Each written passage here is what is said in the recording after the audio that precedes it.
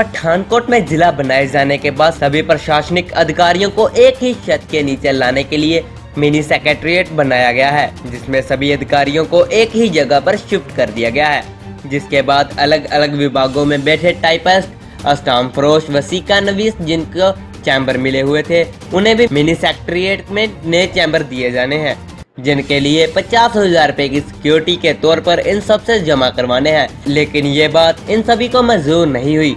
जिसके चलते सभी ने काम छोड़कर हड़ताल शुरू कर दी और दो दिन से ये हड़ताल पर है यही नहीं चैम्बरों का किराया भी सौ रुपया महीना बढ़ाकर एक हजार रुपया कर दिया गया जिसको लेकर सभी वसीका नवीस और अस्टाम फरोशों ने प्रशासन के खिलाफ जमकर नारेबाजी की और अपनी मांगों को न माने जाने के लिए अपनी हड़ताल जारी रखने के लिए बात भी कही ਅੱਜ ਸਾਡਾ ਤੀਸਰਾ ਦਿਨ ਹੈ ਹੜਤਾਲ ਦਾ ਤੇ ਸਾਡੀਆਂ ਮੰਗਾਂ ਇਹ ਨੇ ਕਿ ਸਰਕਾਰ ਸਾਨੂੰ ਬੂਥ ਜਿਹੜੇ ਚੈਂਬਰ ਨੇ, ਉਹ ਬਣਾ ਕੇ ਦੇਵੇ ਆਪਣੇ ਖਰਚੇ ਤੇ।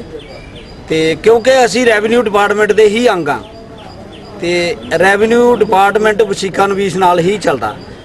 ਤੇ ਦੂਸਰਾ ਸਾਡਾ ਇਹ ਆ ਵੀ ਇਹ 50000 ਰੁਪਇਆ ਸਿਕਿਉਰਿਟੀ ਸਾਡੀ ਮੰਗਦੇ ਨੇ, ਸਾਡੇ ਕੋਲੋਂ। ਸਿਕਿਉਰਿਟੀ ਮੀਨਿੰਗ ਇੱਕ ਪਗੜੀ ਜਿਹਨੂੰ ਕਹਿੰਦੇ ਆ। ਤੇ ਪਗੜੀ ਅਸੀਂ ਕਾਦੀ ਦੇਣੀ ਆ? ਅਸੀਂ ਕੋਈ ਕਿਰਾਏਦਾਰ ਤੇ ਹੈ ਨਹੀਂ। ਅਸੀਂ ਆਲਰੇਡੀ ਜਿਹੜਾ ਫਿਕਸ ਕੀਤਾ ਹੋਇਆ ਜਗ੍ਹਾ ਦਾ ਕਿਰਾਇਆ 100 ਰੁਪਇਆ ਪ੍ਰਤੀ ਮਾਹ ਦੇ ਰਹੇ ਆ ਲੇਕਿਨ ਇਹਨਾਂ 100 ਰੁਪਏ ਤੋਂ 1000 ਰੁਪਇਆ ਕਰ ਦਿੱਤਾ।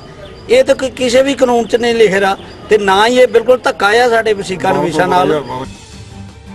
वहीं इस मामले में जब डीसी पठानकोट से बात की गई तो उन्होंने कहा कि ये सभी लोग मेरे पास आए थे। इनकी सभी मांगे सरकार लेवल की है, जो कि हमने सरकार को भेज दी है। जो भी सरकार फैसला लेगी, उसी के आधार पर कार्रवाई की जाएगी।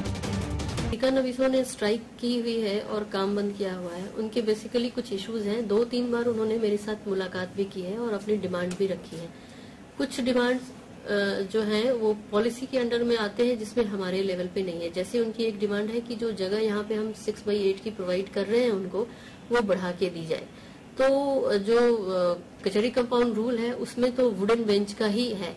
और प्रैक्टिकलिटी देखते हुए सिक्स बाई एट को उसको किया गया है रेगुलेशन के तहत। तो हमने उतनी कर दी है। उससे जगह बढ़ानी है, इसके लिए हम गवर्नमेंट को लिख सकते हैं, जो कि मैंने ऑलरेडी कर दिया है। तो अगर गवर्नमेंट से डायरेक्शन आएगा तो फिर हम आ, कर सकते हैं उसमें चेंजेस दूसरी उनकी डिमांड थी कि आ, जो हम फिफ्टी थाउज़ेंड सिक्योरिटी मनी ले रहे हैं जो रिफंडेबल है वो ना लिया जाए. तो चूँकि सारे लोगों के लिए यूनिफॉर्म पॉलिसी बनाई गई है और ये हम लोगों ने इसलिए रखा है कि कभी जब काम छोड़ के जाते हैं या कई बार लोग सबलेट कर देते हैं और हमारी जो रेंट है या बिजली बिल के बकाया जो हो जाते हैं उनके वो रिकवरी नहीं हो पाती है. इसलिए उनकी सिक्योरिटी अमाउंट रखी गई है. जो कि अगर पठानकोट से कवल रंधावा जीवे पंजाब के लिए।